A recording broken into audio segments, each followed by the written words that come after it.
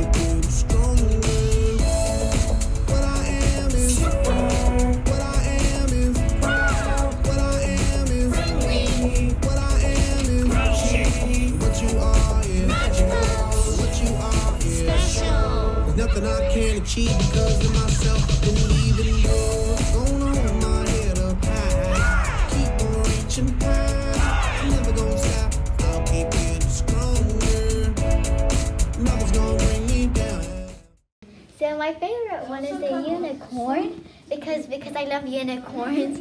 I'm obsessed with them. It's also a very famous artist like who started art like with this pattern. Mm-hmm. Same similar pattern.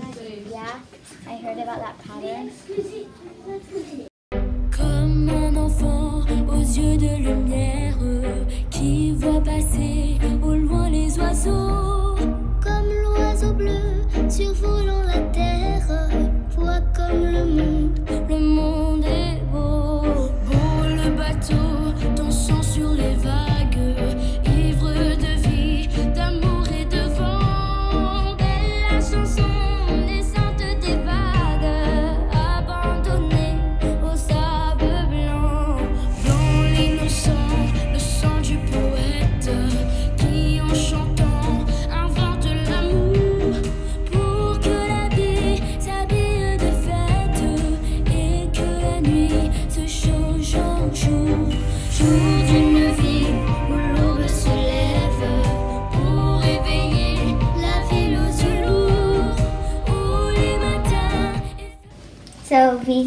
We made when we had a topic of India.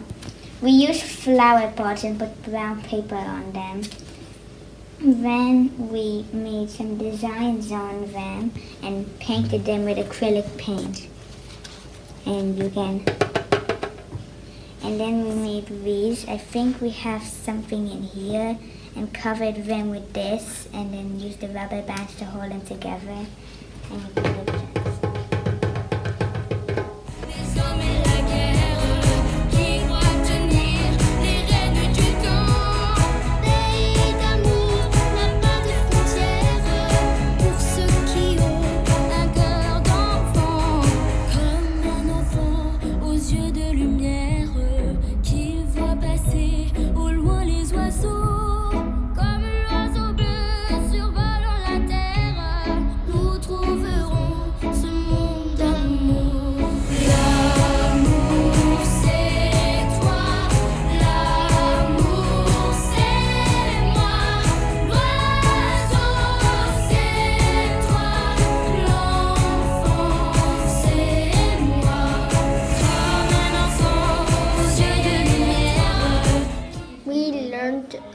an artist who lived in ancient Japan called Hokusai.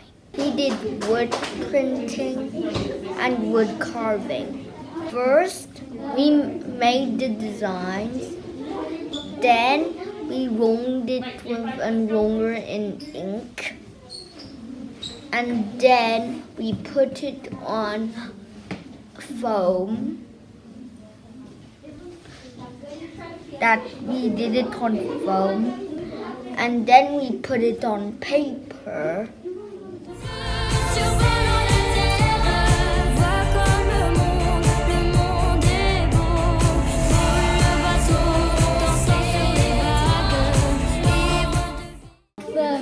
The, detail and the techniques used on, on the elephant and the quilt under it.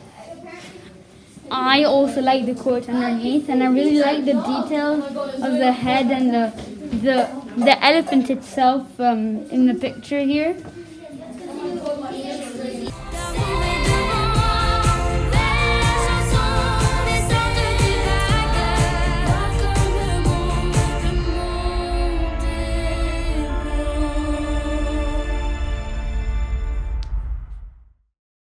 This is our, these are all painting flowers. This one is mine, see?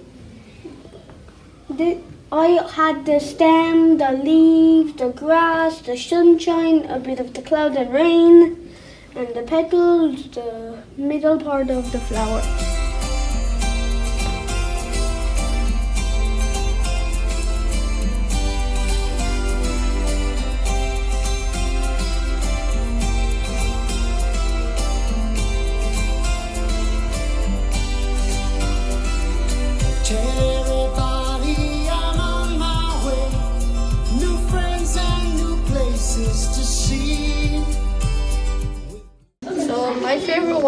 This one because I like the the way they faded the um the sail and the texture of the dragon of the figurehead and how the dude is drowning. I kind of like how the beard is drawn.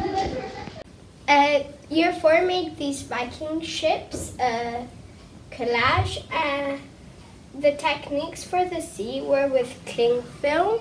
Like we had to uh, paint with dark colors and then for a bit put cling film on it to make this kind of texture.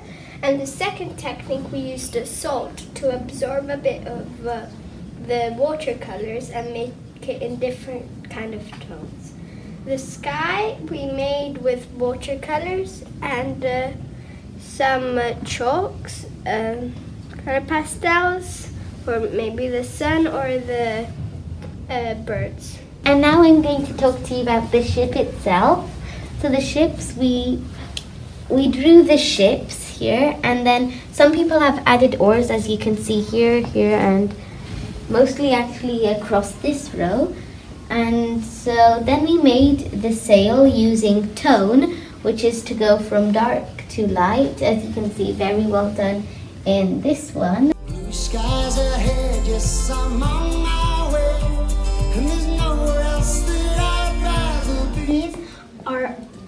Meerkats that we made. First, we drew our meerkat. Then we we got another piece of paper and we colored the bath background with paint. And then we glued our meerkat to the paper and could add any accessories with with colored paper. After we made a 3D meerkat with clay.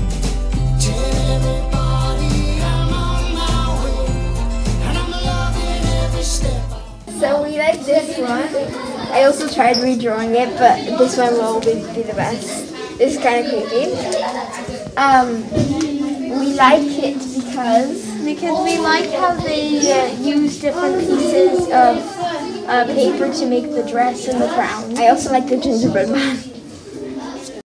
and I'll be explaining how we made these Roman pots. So lately we've been learning uh, about Roman pots and uh, and uh, we've been making them in art class. So here are all the Roman pots. So first we we made the base, we pinched the sides.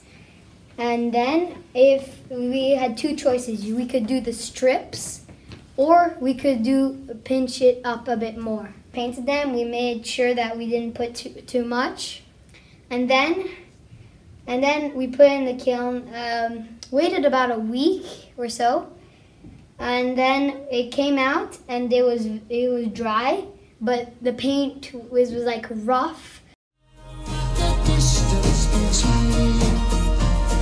the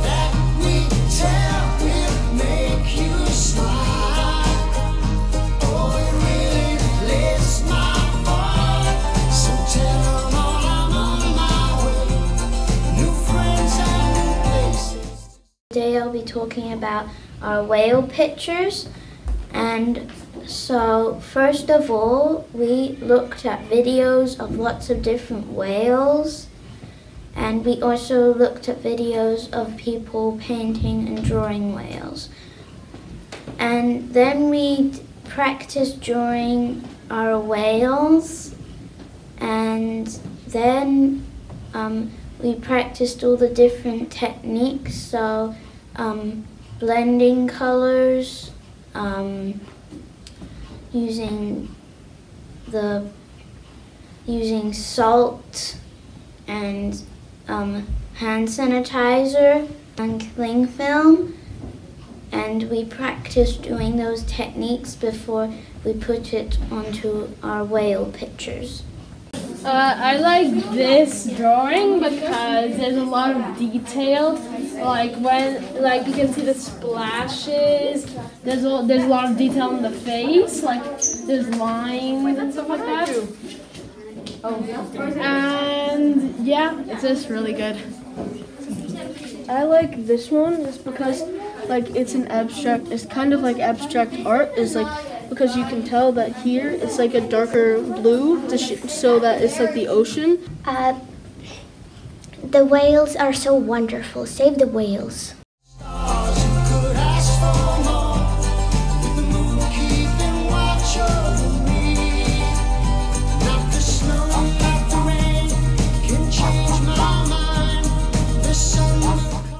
gigantic masterpiece, as you say, is Charles Darwin.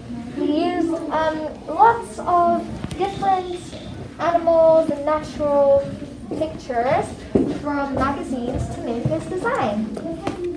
And it was Miss Alex who helped us with the contour, and it all made it lively with all the colors. And also, like if you look a little closer, um, you can you can see like um, some litters or um, naps. Oh, that's really nice.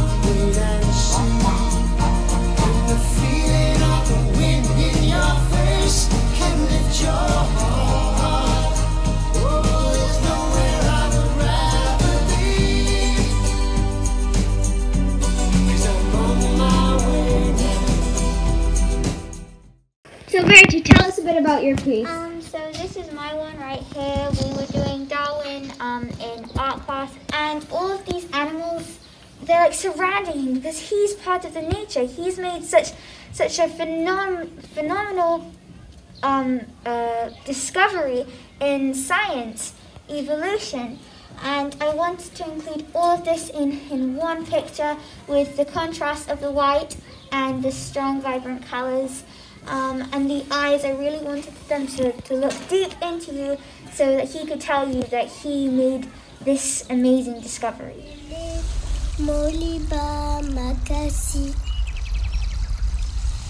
Oh lele, oh lele, moliba makasi.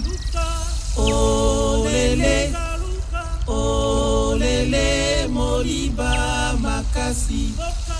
Mboka na ye, mboka na ye, mboka mboka kasai.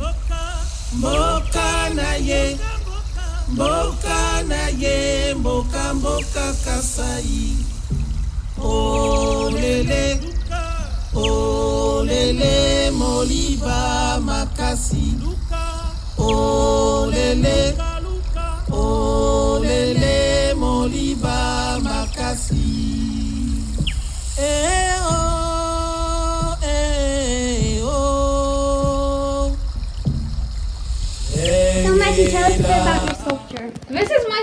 right here. This dog, like many other people, make some dogs and animals.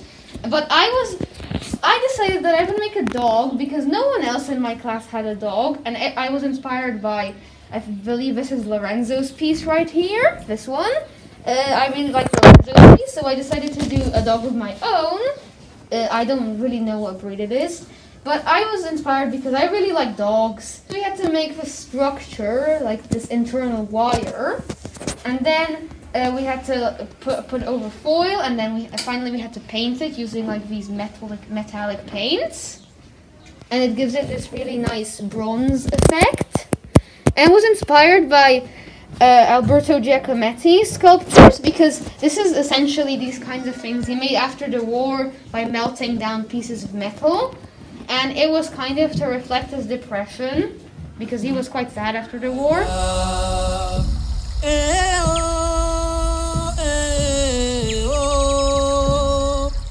So Naya, tell us a bit about your piece. So we were do in art we were doing watercolors and there was this artist called Turner who we were like um, being inspired by his paintings. And then no one else did a night sky so this one's mine and I chose to do like uh, a night one. And then the colors that you pick like to paint usually like reflect a lot of things. So I chose mine to reflect like the sky and the night and yeah